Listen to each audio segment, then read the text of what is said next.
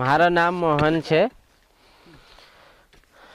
हाँ निमखेड़ा को रहने वाला और मतलब यो भून आडेब को गड्ढो हम तैयार कर रहे हो आठ हाथ तो आसो लंबो है यो और साढ़े तीन हाथ आसो है तो मतलब ये कि दो हाथ एक उंडो करांगे अब हमारे घर छे मावेशी कम है खेत में कचरो ज़्यादा निकला वो कचरो हम सारो इन गड्ढा में लाए ना कास उंडाला भर में दो बार एक बार तो मतलब सड़ जाएगा। ऐसा तो है नहीं कि नहीं सड़े।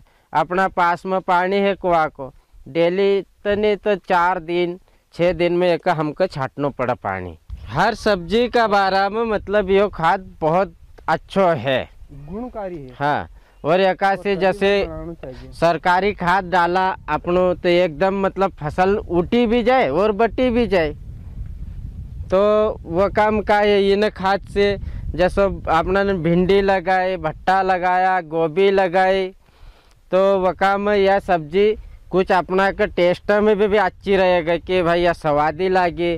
और जो सरकारी खाद डालेंगे एमपी डाल देवा अपन यूरिया डाल दे देवा डीपी डाल देवा सुपर डाल दे देवा वकासी योज है कि पौधो अच्छो चलेगा पर स्वाद का बिल्कुल मात्र कम रहेगा। और इन खाद जो अपनों कचरा को खाद है, गोबर को खाद है तो काम सब्ज़ी को ज़्यादा टेस्ट है। वका लेने अपनों गड्ढा को अपन बनाई रहा कि इन गड्ढा में कचरो सड़ाओ और अपनी सब्ज़ी को दो ताकि अपनी ज़मीन भी अच्छी रहे और सब्ज़ी भी अच्छी होए।